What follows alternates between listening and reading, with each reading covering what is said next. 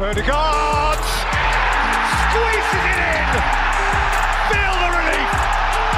If anybody was going to do it, whether it was make a goal or score, and it was the Norwegian playmaker. Have a look at the little foot over there to give him some space. It comes off Adebayo. But Odegaard's been sensational, there.